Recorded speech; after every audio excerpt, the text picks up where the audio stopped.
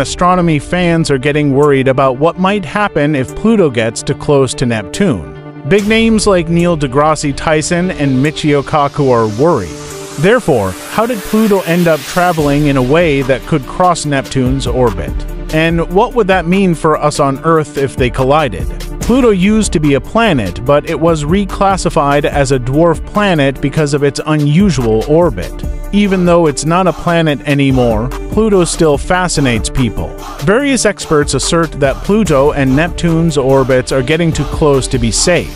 They're warning that if the two crash, it could be bad news for Earth. Pluto's path around the Sun is one of a kind.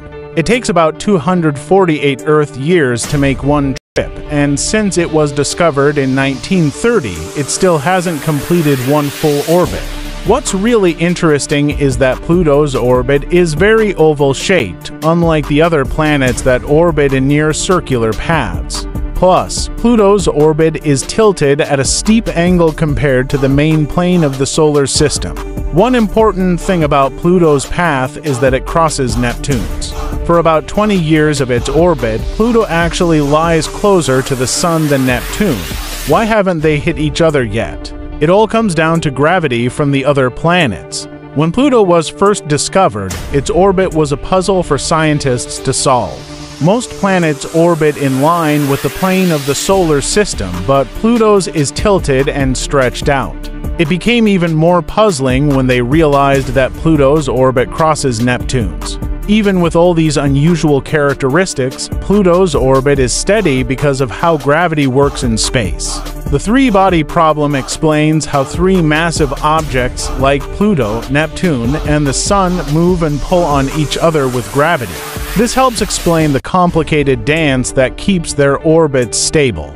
Concepts like asynchronous libration, nodal vibration, and the VZK oscillation help us understand this puzzle. Scientists say that asynchronous libration is important for keeping things balanced. It ensures that when Pluto's path crosses Neptune's, they are always at least 90 degrees apart. Also, nodal vibration helps by keeping Pluto far above or below Neptune's path when they get close. The VZK oscillation explains why. Although it appears strange, Pluto's orbit remains stable over long periods. Computer models from the late 1980s showed that Pluto's orbit is chaotic, meaning small changes can make a big difference over time. However, these models also showed that Pluto's orbit stays stable for billions of years. Better computer models have helped us see how planets like Jupiter, Saturn, and Neptune affect Pluto's path. The way Pluto and Neptune orbit together is key. For every two orbits Pluto makes, Neptune completes three, which helps keep them apart. Jupiter's strong gravity also helps maintain stability, and Saturn adds to the mix. These worlds work together to keep Pluto on track and prevent chaos. Without these mechanisms in place, our solar system would be much more chaotic. Planets could crash into each other or get thrown out of the system. Understanding Pluto's orbit is important because people wonder if it could hit Neptune one day. It helps us understand how the solar system works and how orbits that seem unstable can maintain equilibrium due to gravity. Looking closely at space shows us that things can be complex. Pluto's orbit is an excellent example. Chaos in an orbit means that a planet's path can change significantly based on its starting speed and position. For Pluto, even small changes can alter its path extensively over time. Research from the 1980s showed that, although concepts like asynchronous and nodal libration make Pluto's orbit dependable, it can still be unpredictable. A tiny change in where Pluto starts or how fast it's moving can send it on a very different path over millions of years. Even so, Pluto's orbit has been surprisingly steady for thousands of years. This means that, even though it appears chaotic, there is an order to how Pluto moves around the Sun. When attempting to predict what will happen to planets with orbits like Pluto's, it's hard to make long-term predictions. Scientists can use accurate models to estimate where orbits will eventually go, but there's only so much we can know for sure. These models depend on having the right starting information and being able to simulate all the complex factors that influence orbits. Even a small mistake can significantly alter predictions, making it difficult to be precise. The way orbits like Pluto's behave reminds us that the universe is always changing. Even though we've learned a lot about how planets move, Pluto's situation shows that there's still much we don't know. The planets and stars are separated by great distances, which means that crashes are rare. Planets that don't orbit any star are not common compared to the number of stars and planets that do. Crashes are not likely. Examining how Pluto's orbit is influenced by the big gas planets assists us in comprehending how our solar system functions generally. The size of each planet and its location change how the other planets move in little steps. However, even with all these difficult issues, some scientists still express concern about Pluto and Neptune crashing. So, why are these worries getting attention now, even though there are many factors keeping the two apart? Neil deGrasse Tyson, a famous physicist, has his own method of thinking about the solar system, especially Pluto. Tyson, who famously agreed that Pluto should be called a dwarf planet instead of a full planet, makes us think about how our understanding of orbits is always growing. To him, Pluto's change in status isn't bad. It shows that we're learning more about space. He thinks Pluto's complicated orbit demonstrates how much we still have to learn, and because of this, space exploration is so exciting.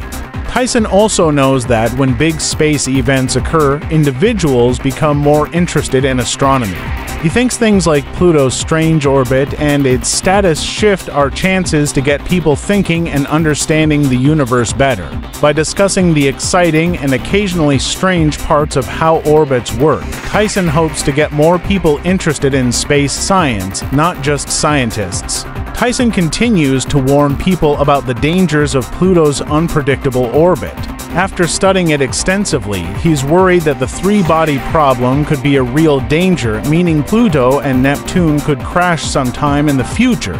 He also says that if that happens, it could disrupt the balance of the solar system and even affect planet Earth. A crash like that would be enormous and release a lot of energy, possibly breaking Pluto apart because it is made of ice and is small. The pieces from the crash could spread around the solar system and be dangerous to other planets and moons. For Neptune, the crash could even change its orbit or atmosphere, depending on the circumstances. A well known theorist, Michio Kaku, a physicist known for his work in string theory and sharing his ideas with the public, also provides helpful thoughts on this. According to Kaku, studying how planets move is related to larger issues in physics.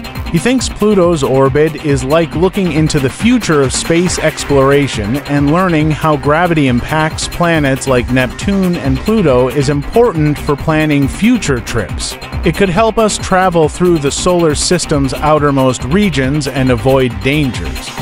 Kaku also says that what we learn from the orbit of Pluto can help us study other objects in space, giving us a way to reach and learn about far off places. Kaku frequently discusses planets when he speaks, pointing out the deep connection between how orbits function and theoretical physics. He thinks the complicated ways planets pull on each other with gravity, like Pluto and Neptune's dance, show the basic rules of the universe. Kaku's work, especially in string theory, tries to explain these rules. He asserts that studying planetary orbits, especially ones as complicated as Pluto's, can reveal deeper insights into the nature of reality. Kaku, like Tyson, has thought about what would happen if Pluto and Neptune collided. From his perspective, it would be a significant event for astronomy and could help string theory progress. String theory says that particles are not just points but tiny vibrating strings, and it tries to connect all the forces and matter in the universe. A large impact outside the solar system could create extreme gravity and energy, giving us a chance to see how matter and forces act under those conditions. One important aspect for string theory is the gravitational waves that would be released by the crash. These waves could provide crucial information for testing predictions about gravity and spacetime as predicted by string theory. despite the fact that Earth probably wouldn't be physically affected because it's so far away. The scientific consequences of such a space event could be huge, helping us understand basic forces and matter better. Pluto's orbit is an excellent illustration of how the planets move, demonstrating both patterns and chaos in our solar system. The strange effect of gravity on its path, influenced by massive planets like Neptune, shows how complicated and ever-changing space is. The universe has many mysteries, and the three-body problem is just one. Scientists are thinking about other possible disasters, and while planetary collisions are highly unlikely, they are not impossible. The three-body problem depicts how gravity changes planetary orbits in crowded systems like TRAPPIST-1, which has seven Earth-sized planets. Gravity can produce patterns in the orbits, and over time, these patterns can make the orbits unstable, possibly resulting in collisions. Even though TRAPPIST-1 is stable now, astronomers are watching its planets to study how objects packed close together affect each other, particularly in relation to gravity. This research aids in our comprehension of how orbits change in general. Rogue planets, which drift through space after being ejected from their star systems by gravity, add another level of unpredictability. These planets can travel huge distances and perhaps venture into other star systems. If a rogue planet enters a new solar system, there's a small chance it could collide with one of the planets.